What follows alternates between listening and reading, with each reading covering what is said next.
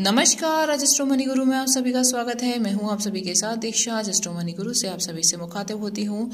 आज की तारीख है पंद्रह, वार है सोमवार। बात करेंगे लाल मिर्च और लौंग के बारे में। पहले बात करते हैं लाल मिर्च की, जिसमें मजबूती बनी रह सकती है।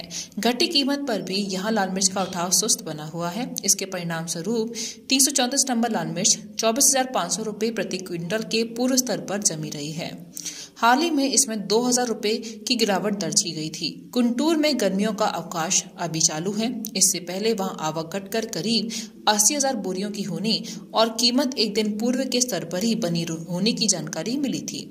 और तापमान में होती जा रही वृद्धि से भी बाज़ार की धारणा प्रभावित हो सकती है। आने वाले एक दो दिनों में हाजिर में लाल मिर्च मज़बूत ही बनी रहने के आसार नज़र आ रहे हैं। दोस्तों, हमारे चैनल को लाइक करना, सब्सक्राइब करना ना भूलें, जिससे हम आपको देश और दुनिया की सारी खबरें समय समय पर दे सकें। अब बात करते हैं लौंग की। उसमें भी मजबूती बनी रहेगी। बढ़ी हुई कीमत पर भी लौंग की बिक्री सुस्त बनी हुई है। इसके फलस्वरूप, लौंग जंजीबार आठ सौ प्रति किलोग्राम के पूर्व स्तर पर रुकी रही। हाल ही में इसमें 10 से 15 रुपए की तेज़ी दर्ज की गई थी। वहीं अंतर्राष्ट्रीय बाज़ार में आपूर्ति तंग बनी होने से बाज़ार की धारणा प्रभावित हो रही है और आगामी एक दो दिनों में हाजिर में लौंग मजबूती बनी रह सकती है। दोस्तों मनी गुरु पैलेस कम्युनिटीज पर काम करके पूर्ण विश्लेषण के साथ आपको हर जानकारी देता है। आप किसी भी जानकारी के लिए हमारे दिए हुए नंबर पर कॉल कर सकते हैं, हमसे संपर्क कर सकते हैं। नमस्कार।